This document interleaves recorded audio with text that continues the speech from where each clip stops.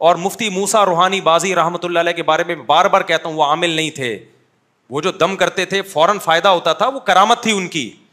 बाज अल्लाह वालों की ये करामत होती है कि किसी को दम किया, अल्लाह ने उसको शिफा दे दी, बस।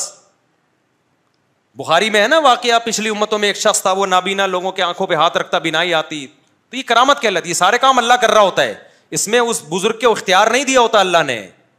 जैसे हमारे नबी ने चाँद के दो टुकड़े किए तो नबी ने थोड़ी किए हैं। टुकड़े किसने किए हैं? अल्लाह ने किए हैं। तो इख्तियारात अल्लाह, इख्तियार देना अलग चीज़ होती है। किसी से काम ले लेना अलग चीज़ होती है।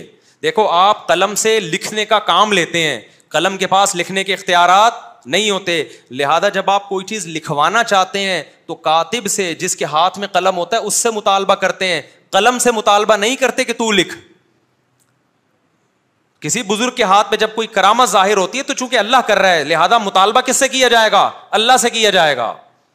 काम अल्लाह कर रहा है।